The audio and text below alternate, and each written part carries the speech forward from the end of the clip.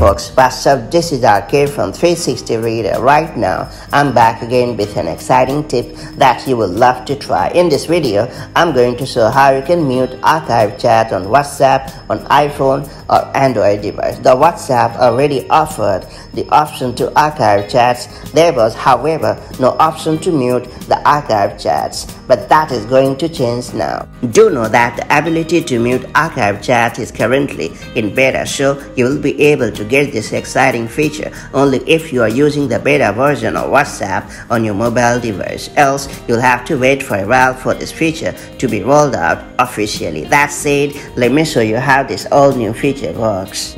Before getting started, make sure you have subscribed our YouTube channel and hit the bell icon so that you won't miss any update from 360 Reader.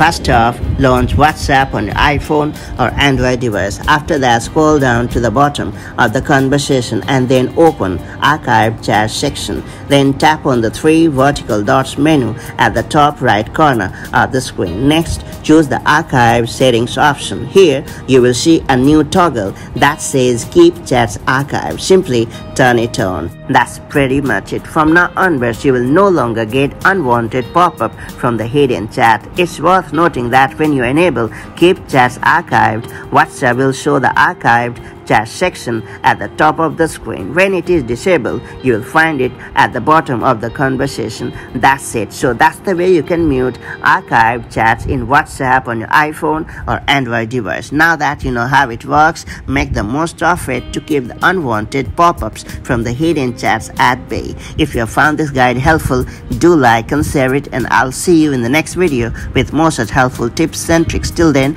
have a great time. Bye-bye.